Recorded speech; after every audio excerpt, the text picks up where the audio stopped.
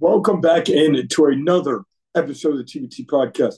Some big news in the Chiefs kingdom after the win over the Chargers. We're going to be going over that and some of the news regarding Nick Bolton and Justyn Ross.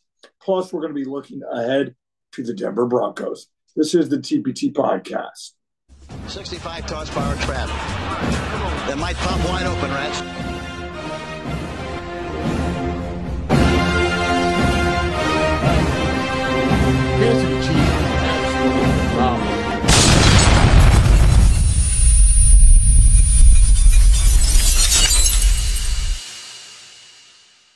Some big news this week regarding the Kansas City Chiefs. Um, some not so great news as Justyn Ross was arrested um, for property damage and maybe a little bit of domestic violence going on. We don't have 100% of the details, but uh, according to what I've been reading, is that he smashed his girlfriend's or ex girlfriend's phone and reportedly, I'm going to say that allegedly, was dragging her around the room. Um, all the details aren't out yet. They say there's an eyewitness to this all. I don't know what the witness has said or anything like that, but this is obviously um, it's just a you know a, a, a bad story to hear in general. Uh, you don't want to hear this from Justyn Ross, the guy who was undrafted free agent. A lot of guy, a lot of people root for Justyn Ross to get in the game more, played more. He's a guy I personally like. Um, so we hope this is not true and uh, it all gets resolved and, you know, everything can be okay with Justyn Ross. Because um, you do hate to hear um, news like this from Justyn Ross. But yeah, he repe- appeared in court today, uh, Tuesday afternoon. Um, so hopefully, again, you know, he'll have a, a, another court appearance and stuff like that. Hopefully, this isn't true in this, you know, news um, is all hearsay. And, um, you know, we can move on from this. Um, in other news, Nick Bolton. We all saw Nick Bolton versus the Chargers game. Yes, the, the linebacker, one of the leaders on the defense, he will be out probably until December. It's looking like he'll need surgery on his wrist. He has a dislocated wrist. Um, not something where he's going to miss a whole lot of time. Um, it, it's not. If this was last year, I'd be a little bit more concerned. But Drue Tranquill, um, having Tranquill out there is is is is it's like one A and one B. I mean, they're getting a guy that can absolutely play. Yes, sort of miss Nick Bolton. He was second in tackles. He was a couple tackles away last year from leading the league in tackles. So he's a guy, yeah, I will miss. Um, but it'll be he'll be fine. During December, it'll be the thick of things, even though we do have our our tough stretch coming up for the Chiefs. Um, but before we get into that, we have to talk about what transpired versus the Los Angeles Chargers. I was about this close to saying the San Diego Chargers. Um, the Kansas City Chiefs get another win over LA. It felt like it was going to be that classic, like, oh, it's going to be a battle. You know, can the Chiefs get it done? Um, it's going to be like a last second field goal. Um, you know, it's, it's going to be another like walk off Kelce, um, stuff like that. And it just, it, it kind of had that feel to it um, in the game. And as this, the Chiefs go on, it's, it's crazy to me to see um, that the AFC is just kind of wrapped up. It's just kind of wrapped up in general um, by week, not even the halfway point of the season is you're six and one, three games ahead of the Raiders. You're two games ahead of the Broncos. You're another two games, almost three games ahead of the Chargers. It's crazy to see, you know, from when I was growing up, this is how the Chargers were, or, you know, the Broncos as well, how it was just they dominated the division. And now the Chiefs just have their own division wrapped up by week seven. And they could pretty much have the AFC walked up. They're six and one. They really should be seven and one if Kadarius Toney could have cut a ball week one.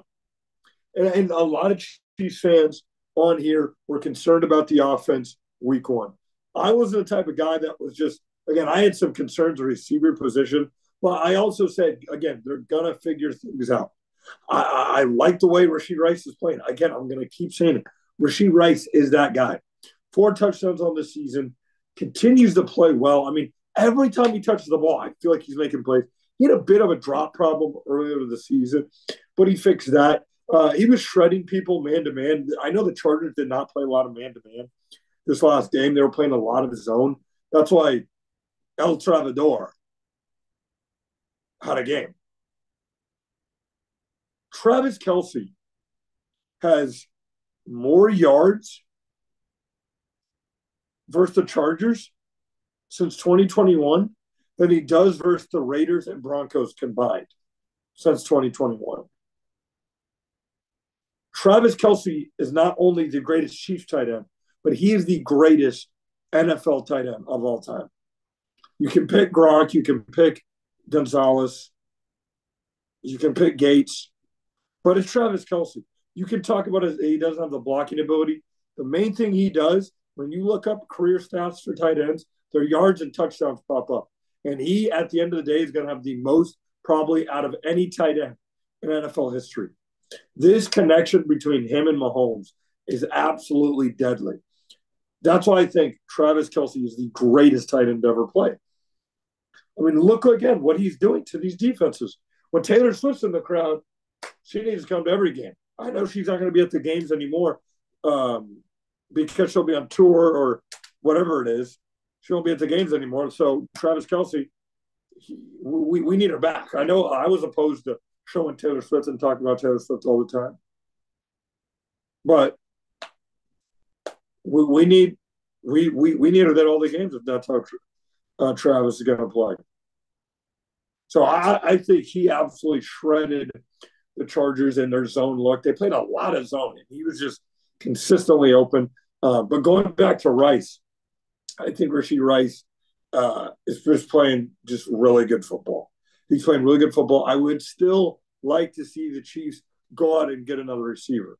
Um, and there's some receivers out there. I, I I like Mecole Hardman back. Mecole Hardman. We want to talk about that. He had that big kick return on uh, that that uh, fourth down punt from the Chargers.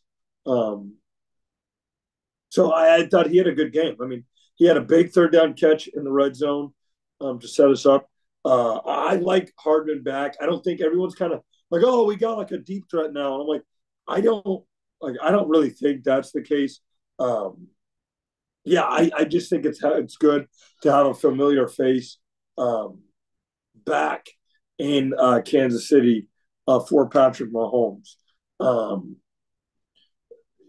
Mecole Hardman again, he's not going to be a guy where it's like, oh, now he's going to kind of take over the one, you know, the number one receiving position. No, I don't. I don't see that um, happening for Mecole Hardman. But I do think it's good to have a familiar face back in Kansas City, uh, can return punts like that. Um, so I'm excited to see that. Um, but I do want them to go get another receiver, even if it's a guy like Juju Smith. If the Raiders or excuse me, if the Patriots are dumping guys and they're like, you know what, we'll send Juju Smith back to um, back to Kansas City. I'm I'm all for it. I'm all for it. Um, another guy I want to talk about. He's not getting enough love. Is Mike Edwards? I think Mike Edwards is having a phenomenal, a phenomenal year in Kansas City, being a ball hawk. I think he already has an interception in the year he was a great pickup from Tampa. I really like the addition of Mike Edwards. He's playing absolutely phenomenal. I mean, the defense in general is playing phenomenal. Another week in a row. Teams that just cannot score more than 21. The only team to score 21 on us was the Lions. And that was week one. We didn't even have Chris Jones. We didn't have Travis Kelce. This Chief team has been top three. I know a lot of people like to, oh, yeah, they're okay. They're pretty good.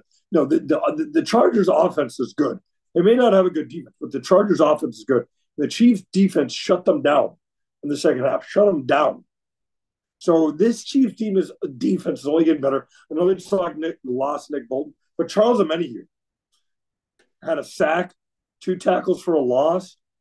Charles Omenihu came in first game, boom, ready to go. And then you know they're thinking about adding uh or excuse me, Frank Clark.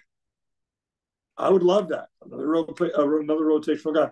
One trade I've seen a, a couple people say, um, and I saw this on ESPN. I can't remember who said it. They said the Chiefs going after Danielle Hunter.